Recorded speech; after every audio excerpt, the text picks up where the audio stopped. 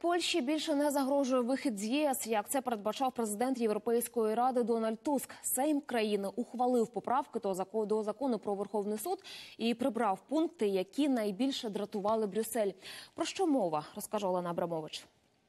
Відносини Брюсселя і Варшави останній рік-два дедалі більше загострювалися. Польща неохоче приймала мігрантів, дозволяла вирубувати ліс у заповіднику Біловецька Пуща, не дотримувалась вимог із зниження забруднення повітря, а ще змінила внутрішні судові закони. Як наслідок з'явились величезні проблеми із верховенством права.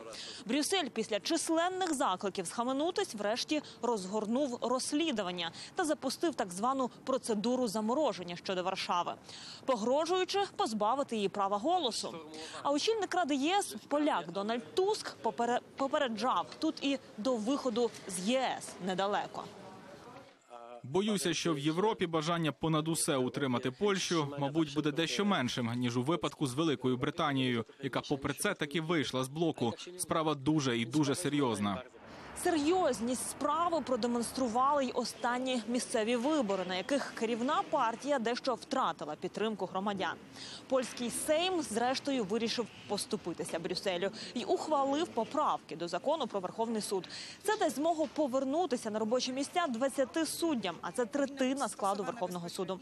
Раніше цим законом їх відрядили на пенсію. Закон, до якого ми внесли правки, відповідає польській конституції та європейським стандартам, а також нашим намірам реформувати польську судову систему. Водночас наш уряд і наша команда не раз наголошували, ми члени Євросоюзу і поважаємо його закони та правила. У Брюсселі поки що не відреагували на такі кроки. Єврокомісія наразі проводить одразу кілька серйозних розслідувань щодо Варшави, тому з висновками не квапиться. Хоча найбільшу проблему питання незалежності суддів Польщі, схоже, таки вдалося усунути. Олена Абрамович, Іван Єрмаков, подробиці. Європейське бюро телеканалу Інтер.